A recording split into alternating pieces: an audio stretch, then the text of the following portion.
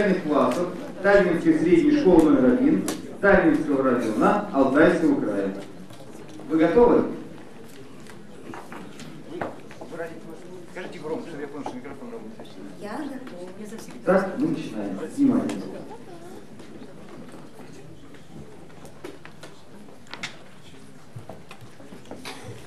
Уважаемые коллеги, предлагаю вам узнать текст, который любезно представит для нас группа коллег, согласившихся мне помочь. Пожалуйста, коллеги.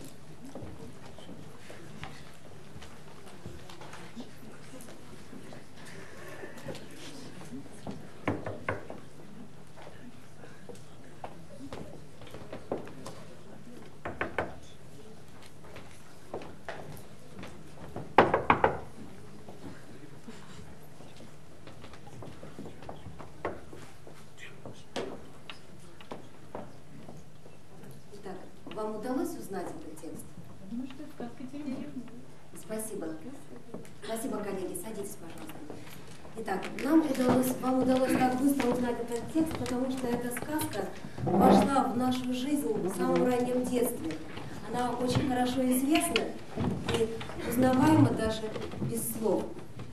Я предлагаю вам сейчас послушать отрывок из сказки «Теремок».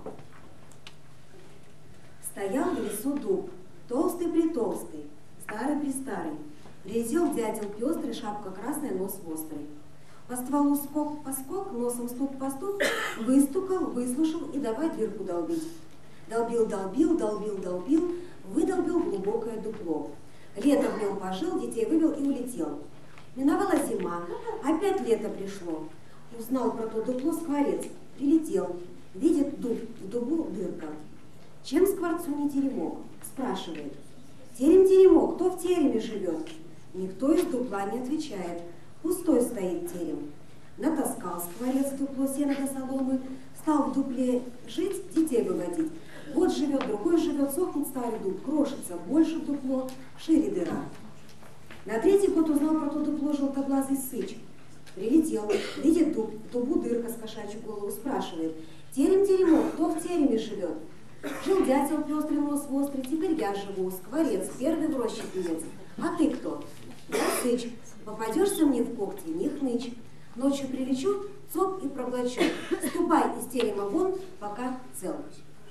Итак, можно ли этим отрывком сопроводить действия, которые сейчас разворачивались на сцене? Как вы считаете? Сейчас на сцене происходили действия. Из сказки «Теремок». Можно этим отрывком проиллюстрировать эти действия?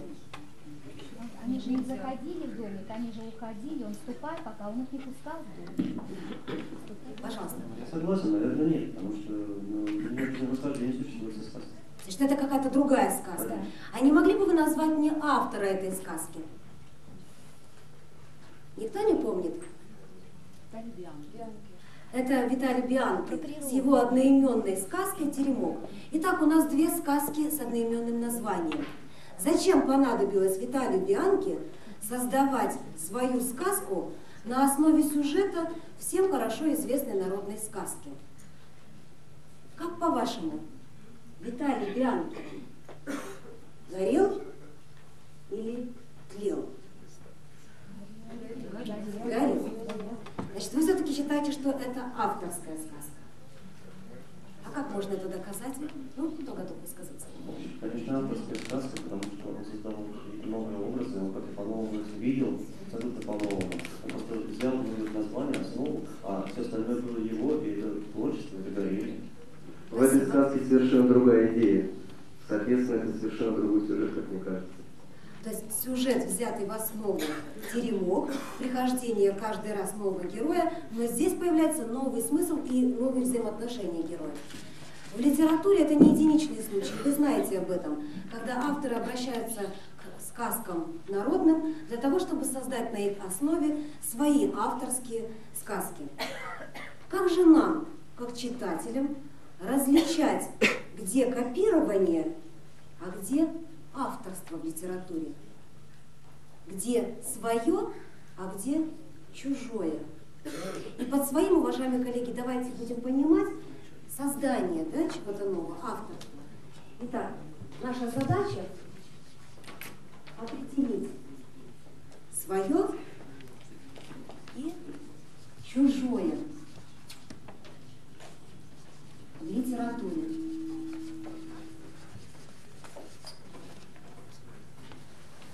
Итак, как вы понимаете здесь слово «свое»? То, что создано, да? То есть это авторство. Что значит чужое в данном контексте? Это скопировано, да? Это скопировано. Ну что ж, давайте попробуем определить критерии своего и чужого, да, критерии авторства, чтобы нам можно было а, каким-то образом различать, где в литературе скопированный текст, а где а, свой авторский, где творчество. Итак, что вы считаете, вот даже сейчас уже мы можем увидеть, сравнивая народную сказку и сказку Виталия Бьянки? Пожалуйста. Свое – это когда свои э, действуют герои с новыми именами. Так. Свое – это новая идея. Новая идея. Хорошо. Новые имена. Просто имена, если заметят, Персонажи. Персонажи. Образы, да, образы. Это будет, значит, как совокупность характера, да, и поступков. Хорошо. Образы. Новое место действия. И это место действия будет, естественно, да, эм, создавать условия для того, чтобы по-иному да? Хорошо. Итак, место действия. Я буду сокращать. Новые отношения. Да, э, новые отношения героев, вот как в этой сказке Виталия Бьянки, да? Итак, новые отношения. И что здесь, как вы считаете, будет общим? Свой взгляд, новая идея, да, какая-то, свой взгляд на взаимоотношения. Итак, какое здесь будет ключевое слово? Авторство это всегда новое, создание чего-то нового, уникального, неповторимого. Опираясь на наши суждения, теперь давайте попробуем создать новую сказку «Теремок». Героями в этой сказке будут персонажи из известных сказок. Переверните, пожалуйста, листочки. Вы сейчас их увидите. И, естественно, эти персонажи обладают свойственным, своеобразным им характером, который будет влиять и на развитие сюжета, и в то же время определит во многом новую идею, которая будет в нашей сказке. Ну что ж, итак, а сказка начинается так. Жила так, у кого какие герои, да? Итак, Лена, у вас дровосек, у вас Золушка, у вас Пьеро, кот Леопольд, Мюнхгаузен Знайка, Гена э, Крокодил и Карлсон. Вот такие необыкновенные герои у нас будут сегодня действовать в сказке «Теремок». Посмотрим, что у нас получится. Каждый раз герой будет стучать да, и говорить, «Дюймовочка, я пришел, чтобы тебе помочь», сохраняя таким образом связь с народной сказкой в виде вот этих вот повторов. Ну что ж, давайте начнем. Жила-была Золушка. Пригласили ее однажды на бал. Ой, простите, Дюймовочка. И пригласили ее однажды на бал. Но у нее не было нового платья. Золушка была очень расстроена.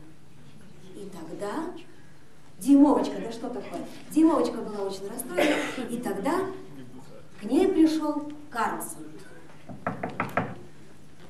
Тук-тук-тук. Димовочка, это я, Карлсон. Я пришел тебе помочь. Я летал, везде летал, я видел столько нарядов. Я хочу, чтобы у тебя было платье, как у моей любимой Фракенбок, с рюшечками. Я полечу за этим платьем. Улетел Карлсон и так ничем не смог помочь. Пришел Гена Крокодил. Тук-тук. Дюймовочка, я пришел тебе помочь. Я пока шел, я потерял чебурашку, а без него у меня, наверное, ничего не, пом- не получится. Я не могу тебе ничем помочь. И Гена Крокодил ушел, оставив Золушку со своей проблемой. Пришел Пьеро. Дюймовочка, я пришел тебе помочь. Ты такая красивая, как моя подружка, Мальвина. Я так хочу тебе помочь.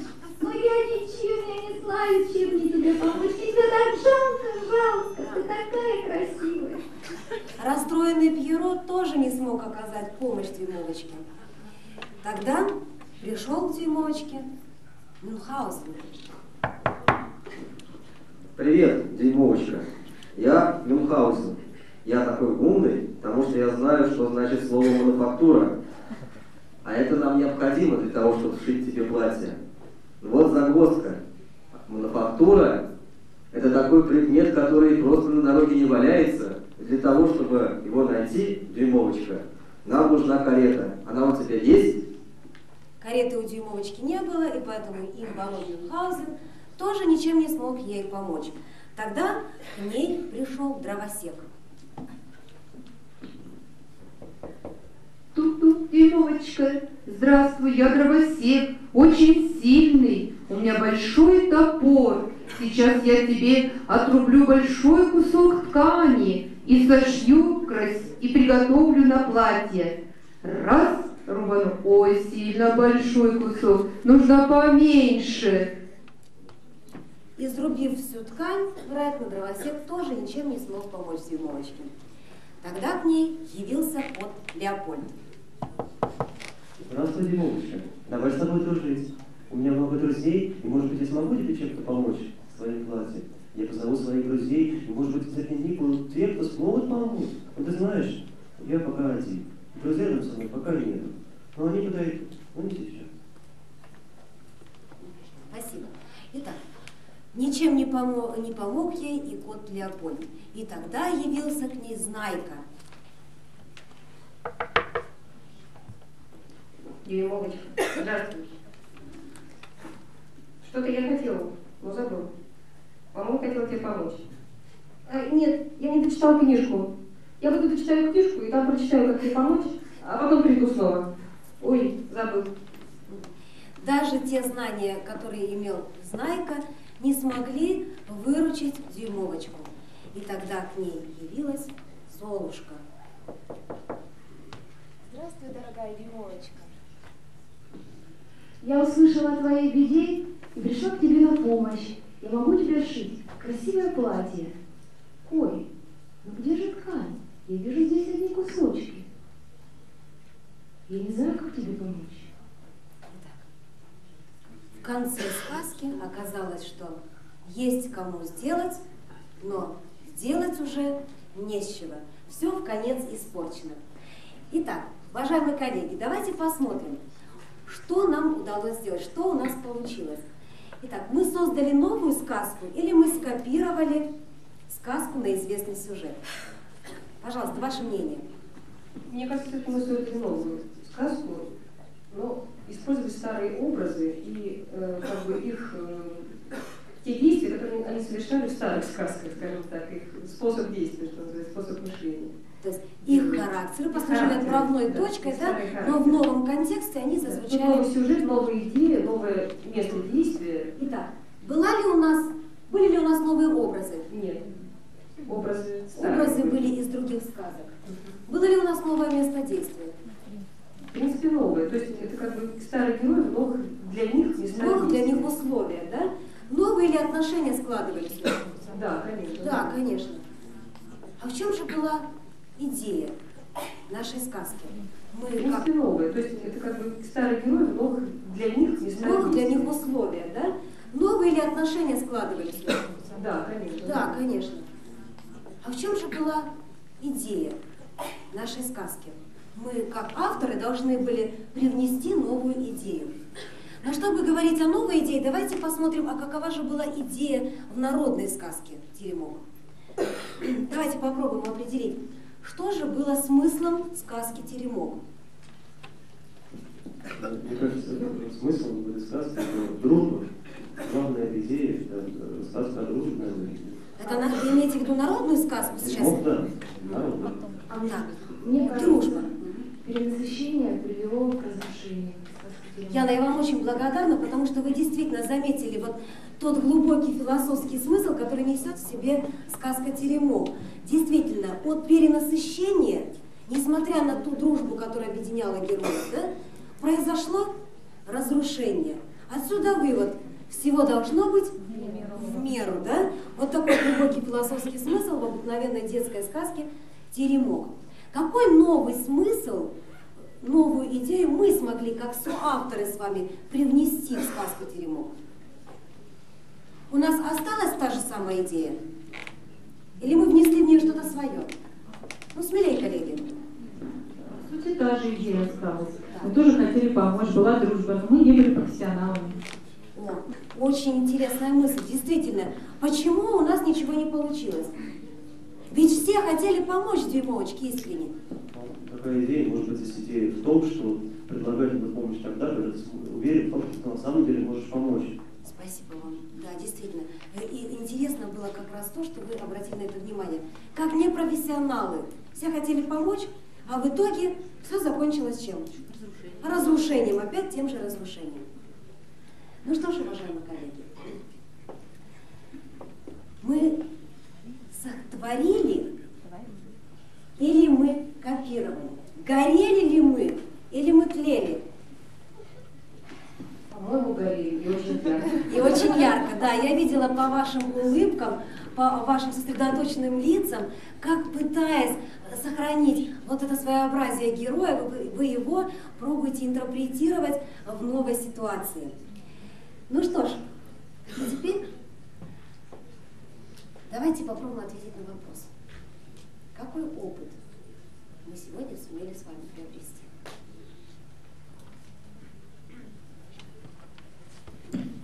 Опыт творчества, создания нового. Попробовали себя э, в иной ипостаси. Значит, в роли, ав... в роли авторов, да? И что нам это помогло понять? Как это трудно и тяжело. Как это трудно и тяжело создавать нечто свое, не копировать, да? Но это здорово гореть, да? Добавляйте, пожалуйста, коллеги. Опыт авторства у нас было еще. Знаете, у меня такой опыт, я помню, что казалось бы, вроде выполнять то, что уже было, а получилось что-то абсолютно новое. То есть на основе старого создали какую-то новую идею, на основе старых опытов создали какую-то абсолютно новую сказку. Вот что интересно тоже. Да. То есть вот эта вот идея авторства, да? Идея, когда создается свое, да? и это действительно создание. Еще, пожалуйста. И, по сути дела, скопировать буквально не удалось никому, как я не старалась скопировать, у меня все равно получалось я носитель другого образа. А мне кажется, что вообще копировать не надо, надо свое придумать с самого начала, своих собственных героев. Да. Потому что копировать очень трудно. Интересно, коллега обратил внимание на то, что ведь действительно в литературе очень многие авторы обращаются, так сказать, к известным, да, всем сюжетам, да, чтобы создать нечто свое. И вот вы, Сережа, считаете, что лучше не брать за основу никакие сюжеты? Нет, сюжеты они нет, так кажется, они постоянно, они окружают нас, они Так называем вечные темы, да? Да, но вот героев, их отношения можно, кажется, не создавать другими, новые совершенно. Да, и действительно, вот эта противоречивая ситуация действительно была создана специально, чтобы даже э, при том, что герои из прежних сказок, они у нас в новом контексте зазвучали по-новому. А еще у меня, коллеги, к вам такой вопрос. А в чем ценность нашего опыта? То есть для чего надо человеку уметь различать вот копирование от авторства в литературе, именно в литературе? Мне кажется, сейчас огромное количество масс литературы, и все больше с каждым годом становится и больше и больше, и мне кажется, просто разбираться в этом надо для самого себя, чтобы не тратить свое время на то, чтобы пролистывать книги, которые, может, не совсем достойны этого внимания. Спасибо. Да, получается и время, и деньги на книги, которые стоит читать. Да. Еще, еще, мне кажется, нужно вырабатывать читательский вкус. Хорошо, спасибо. Еще, пожалуйста. Я хотела добавить, что литературный читательский вкус действительно вырабатывается на новом, на своем, а не на то, что скопировано. А с другой стороны, если копируется что-то, например, продолжается серия романов, которые автор создал, но, к сожалению, уже не живет, то задача перед этим э, человеком, который продолжает эту серию, стоит очень высокая. Он должен вжиться в этот образ и поставить себя на свое место, потому что у него проблем еще больше становится. Спасибо, Сережа. А, вы просто здорово сегодня работали. И у меня к вам последний вопрос. Все мы с вами, педагоги, мы все работаем в школе. Скажите, в чем ценность вот того опыта, который мы сегодня приобрели, и его практическое значение для нашей педагогической деятельности? Учимся сотворить, а каждый урок это творчество. причем ежеминутно, ежесекундно, и каждый раз ты ищешь новые ходы, новые мысли. Я думаю, что вот этот опыт нам в работе школе обязательно пригодится. Обращаемся ли мы к известным методам, способам, которые были давно открыты в педагогике? Да. Можно ли считать использование их творчеством? Конечно. Да. И творческий учитель горит или тлеет? Горит, потому что он создает, а не копирует. Спасибо вам, уважаемые коллеги. Сереж, еще есть мнение? Мне Пожалуйста. кажется, что самое главное вот здесь в копировании, вот с точки зрения педагогики, нужно заметить о том, что все великие художники, они начинают с того, что изучают своих предыдущих на основе копирования именно, и, может быть, создают тоже такие же великие потом шедевры. Учатся, да? Учатся именно на основе копирования своих предшественников, потом создают свое. Спасибо. Спасибо. И нам, нам, педагогам, очень важно осознавать при обучении детей творчеству вот этим позициям, позициям копирования и позициям создания нового. Поэтому данный разговор сегодня вот здесь на уроке, он имеет вот ценность именно при формировании культурного читателя, ученика нашего как культурного читателя. Уважаемые коллеги, да, хорошо, что обратили внимание на то, что э, у нас в школе известно такое явление, когда при написании собственных текстов, сочинений, да, дети, используя критические статьи, выдают их за свое собственное творчество. И на это тоже надо обращать внимание, формируя правильную культуру подачи материала. Да? Спасибо, коллеги, наше время, к сожалению, закончено. Я очень благодарна вам за ваши мысли, за то, что вы меня обогатили новым